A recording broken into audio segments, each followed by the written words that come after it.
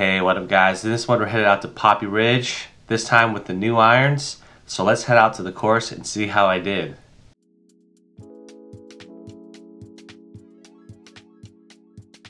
Alright, hole number one, just taking it easy here. Uh, hit the ball up the right hand side. Unfortunately, in this next clip, you'll see uh, the ball's on extreme side heel lie. So I end up just duffing this one forward advancing it into at least a fairway. And so my next shot here is just a short one into the green. Uh, hit a decent wedge here, and I'm safely aboard, and I'm putting for my par. So here's the par attempt. And I thought the greens were going to be rolling a little faster than they were, but end up just tapping that in for my bogey. All right, this next hole, you're going to want to find your fairway finder. Don't be dumb and pull driver like me.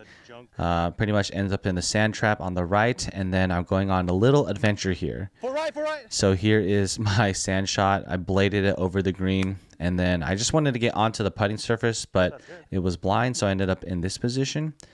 And here's my chip. And luckily, this got really close, so I ended up having a tap in bogey. But yeah, take out a layup club here and get in the fairway. All right, next up is a cool par three, extreme downhill, great views all around.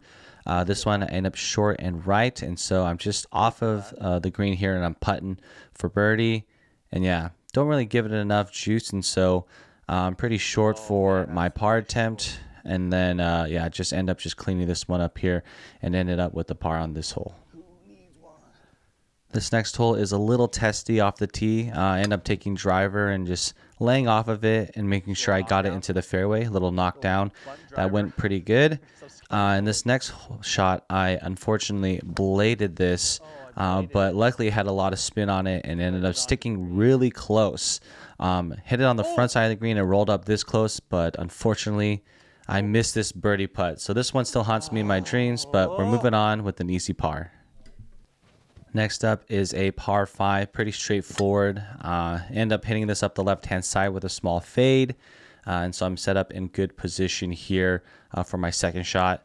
Second shot, end up just topping the crap out of it and pretty much only hitting it three feet off the ground, but it went a decent distance. Uh, unfortunately, my third shot ended up pull hooking it to the left, and now I'm in these bushes, which you'll see in my next shot. So this one, just want to get onto the green, uh, hit on the green, but it rolls off into oh, this uh, into this uh, fringe area, and pretty much just bump try to bump and run this one close. End up being within a reasonable distance, but luckily I was able to clean this up for a bogey here. So a couple of interest bogeys to start the round. Yeah, you did.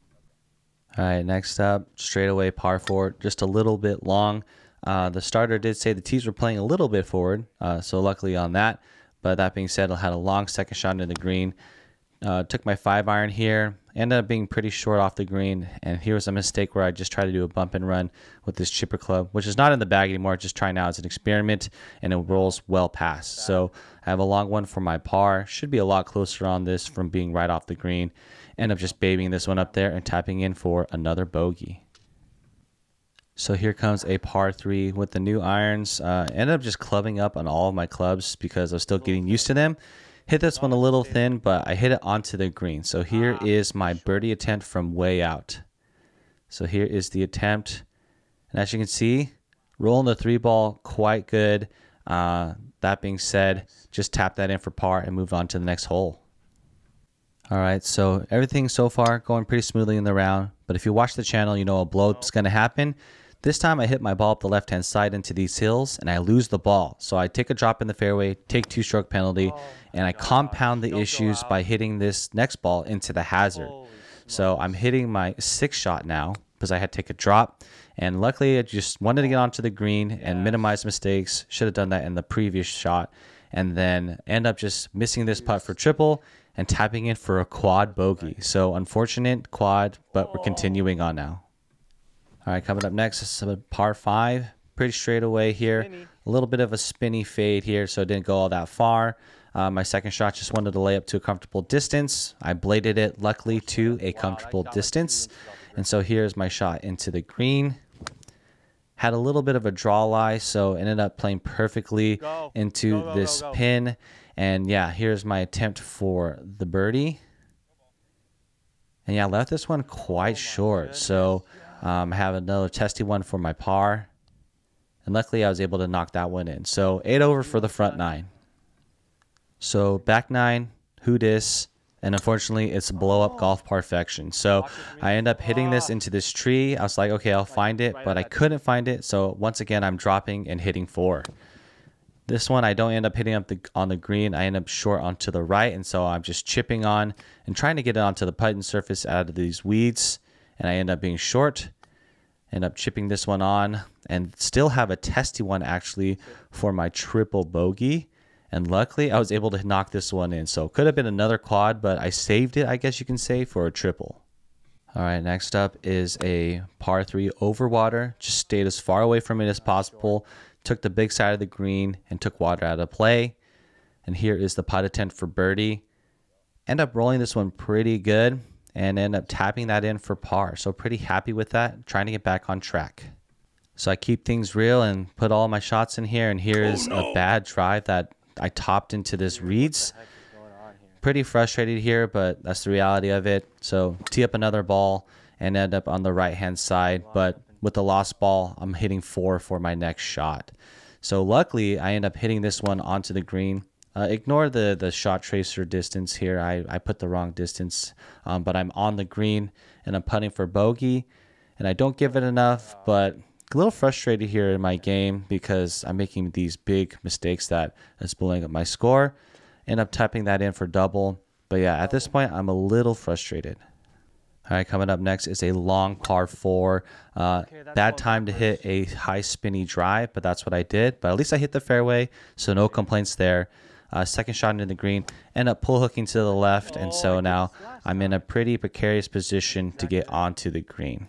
So here's the chip and I actually hit it beautifully and it goes onto the green and could not play any better. So pretty happy with that result. And here is the putt for par. And yeah, just barely missed that one and ended up tapping in for another bogey. All right, coming up next is a par five. Pretty straight away. Just try to avoid the right hand side. Uh, that being said, no hit a decent drive in the middle of the fairway. Uh, but yeah, my shots into par fives have not been great. So end up, you know, topping this one, but it goes pretty far. And then uh, leaves me with a short distance into the green. So hit a pretty good gap wedge onto the green. So I'm back on in regulation uh, and trying to just make this for bird. And right away, did not give it enough break and uh, probably can't hear it in my voice on the course, but yeah, I was getting pretty frustrated at this point, but kept moving on and going to the next hole.